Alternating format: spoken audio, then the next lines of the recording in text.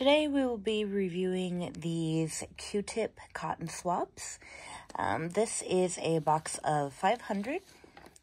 Comes in a box, as you can see. Some instructions, directions on the back. And then this actually just slides out, so super easy to use.